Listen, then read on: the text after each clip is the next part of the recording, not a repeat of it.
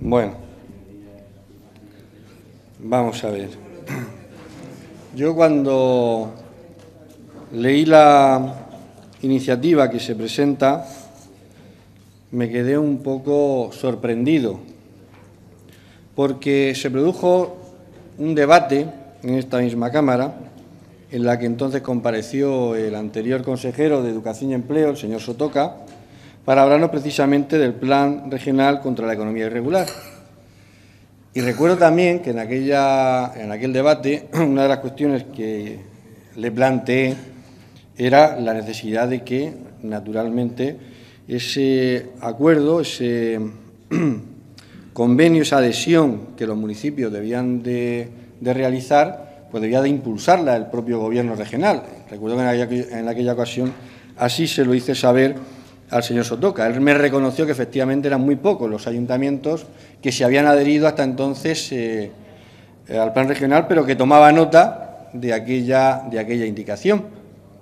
Y yo me pregunto, un año después, ¿qué es lo que ha pasado?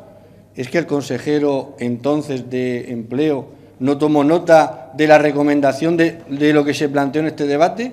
¿O el debate no sirve para nada? Simplemente para hacer una exposición y no se escucha, no se oye lo que tengan que decir los distintos grupos parlamentarios, porque ya se planteó. Pero es más, la mayoría de los ayuntamientos de la región de Murcia, la inmensa mayoría, más del 90%, ¿por quién está gobernado? Por el Partido Popular. Luego, luego una mera gestión, una simple gestión del consejero de empleo para que se produzca esa adhesión sería, creo yo, suficiente. Ah, a no ser que, lógicamente, el nuevo consejero de la cosa, el nuevo consejero de empleo, esté en otras cosas, en cuyo caso pues, se pueda entender que necesite el impulso o el recuerdo, el recordatorio de esta Cámara porque no se ha dado por enterado porque está en otros menesteres. Hombre, también podría hacerlo el portavoz del Grupo Parlamentario Popular, la gestión, pero muy probablemente esté condolido en uno de sus ojos tal y como hoy señala muy acertadamente un humorista eh, regional. Y en consecuencia, pues esté más también en otros menesteres que en eh, hacer la gestión oportuna para que los ayuntamientos del Partido Popular se adhieran, se adhieran al plan regional contra la economía irregular.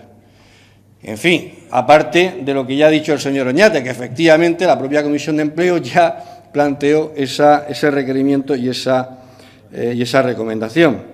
En fin, señorías, no perdamos el tiempo, por favor. Voy a votar en cualquier caso que sí. Muchas gracias. Gracias, señor Pujante. La autora de la moción tiene la palabra. Gracias, señor presidente. Señor